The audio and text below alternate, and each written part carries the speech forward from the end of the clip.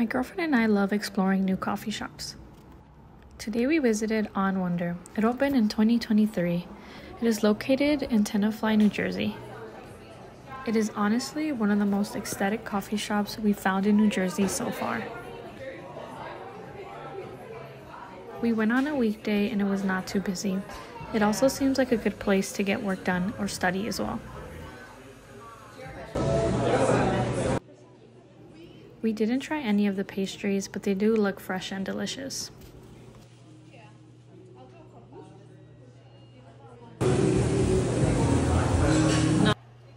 So I normally stick with a cappuccino, cortado, or latte, but the barista really convinced me to get the ice spinner.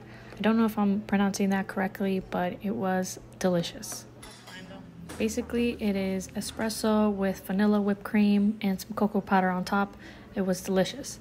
My girlfriend got the cortado, of course, and she enjoyed it as well. So my girlfriend couldn't choose between the cortado and the pumpkin spice latte. So in the end, she decided to try it. Here it is, and yep, definitely recommend as well. So yeah, that's On Wonder. Thanks for watching. Go check it out and like and subscribe for more coffee videos.